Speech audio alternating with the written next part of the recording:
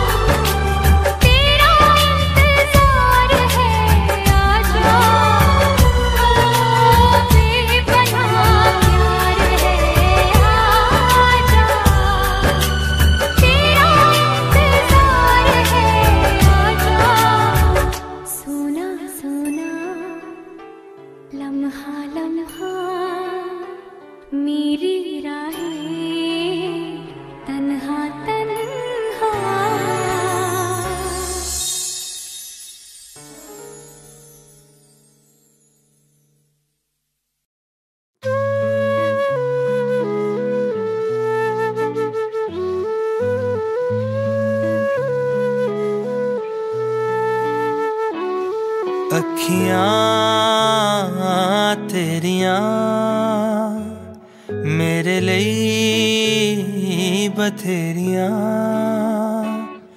ਅੱਖੀਆਂ ਤੇਰੀਆਂ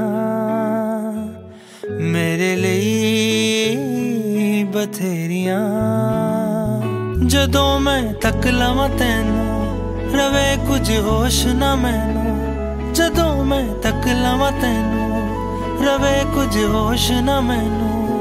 ਹਰ ਪਲ ਰਹਿੰਦੀਆਂ ਨੇ ਤਾਂਗਾ